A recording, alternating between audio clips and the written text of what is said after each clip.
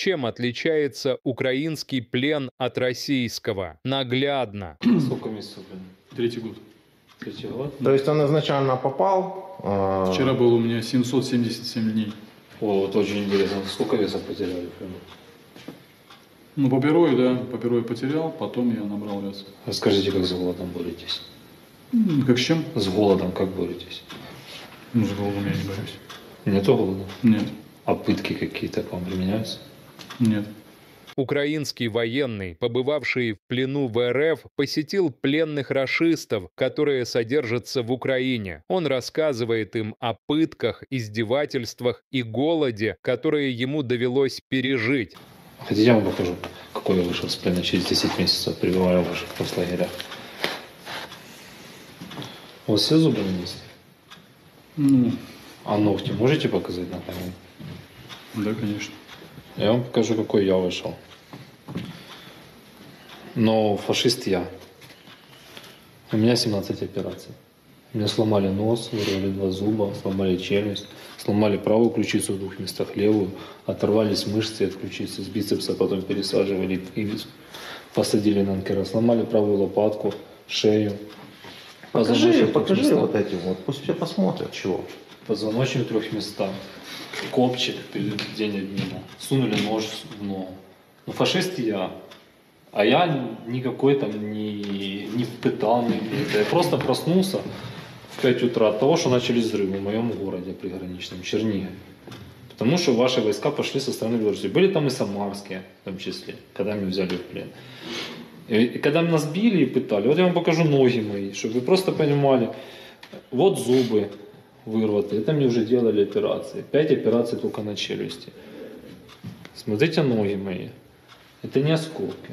Подойдите ближе, я никого не...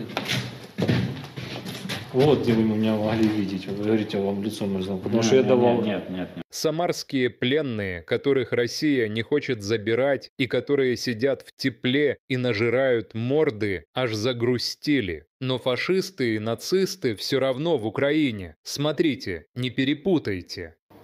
Вы говорите, Гитлера нет. Уже столько лет, да, 80 лет. Значит, но дело его живет. Новая газета «Европа» утверждает, что вот уже пять лет, как Рамзану Кадырову поставлен диагноз некроз поджелудочной железы.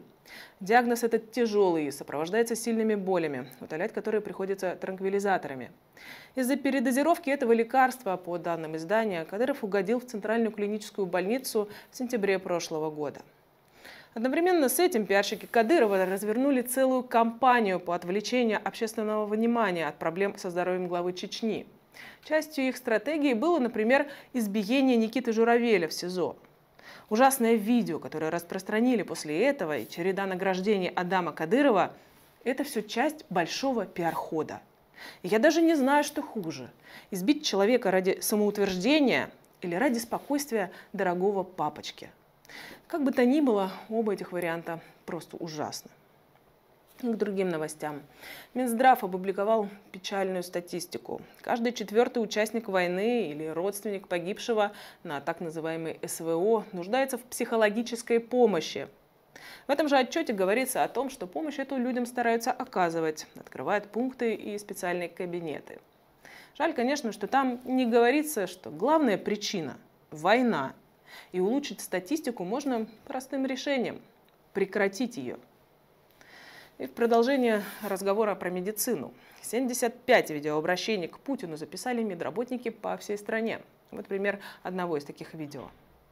Этим постановлением работникам скорой медицинской помощи была установлена прежняя выплата. Врачам 11 500 рублей, фельдшерам 7 тысяч рублей. В то время как выплаты остальным медицинским работникам превышают наши выплаты в 4 раза. Дело в том, что в марте Путин повысил надбавки медикам, добавил что-то в районе 10 тысяч рублей. Но не всем.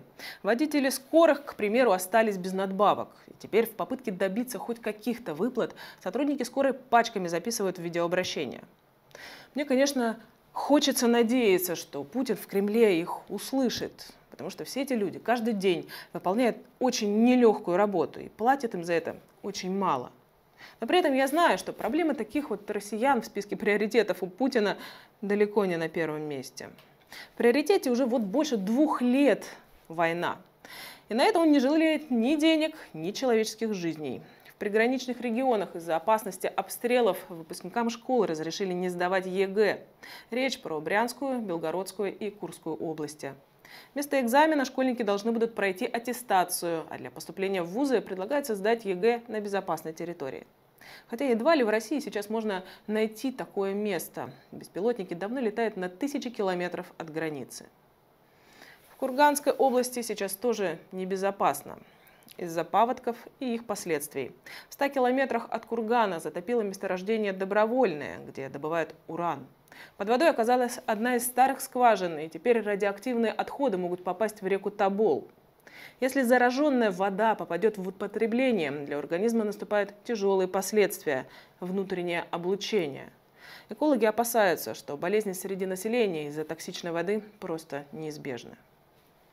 В Башкирии местный бизнесмен вместе с сыновьями избил компанию подростков. Это произошло в селе Иглино. Девушка, которая была в компании, смогла снять часть драки на видео, а потом рассказала, что и как произошло. Нас подрезал автомобиль, э, водитель э, по просьбе водителя Рауфа Габдулина, его сыновья начали драку, в результате драки ее парень попал в больницу с тяжелыми травмами головы. Еще несколько человек тоже были избиты. Нападавшие также посадили ребят в машину и угрожали убить. И это не просто случай бытового криминала. Рауф Габдулин – крупный местный предприниматель, связанный с главой района Гюзель Насыровой. Прошлым летом она даже писала пост, что Рауф и его сыновья – гордость Иглинского района и пример для всех. Теперь, конечно, главный вопрос, будет ли возбуждено дело и будет ли нормальное расследование. Или связанные с властью бандит и его семья уйдут от ответственности. Российские чиновники продолжают борьбу с русской культурой. На этот раз под запрет попал новый роман Владимира Сорокина «Наследие». Роман вышел в конце прошлого года, и вскоре на него был написан «Донос». Якобы в романе содержится пропаганда ЛГБТ. От продажи книги уже отказались Озон, Лабиринт и Вайлдберрис. А издательство АСТ опубликовало открытое письмо для всех потенциальных площадок о необходимости прекратить продажу книг. Очевидно, за этими решениями стоит не позиция издательства и не решение отдельных магазинов, а позиция властей. Государство вовсю использует цензуру и спекуляции на так называемых традиционных ценностях в своей политике. Но не мы это сделали. Мы, мы предлагали пойти другим путем.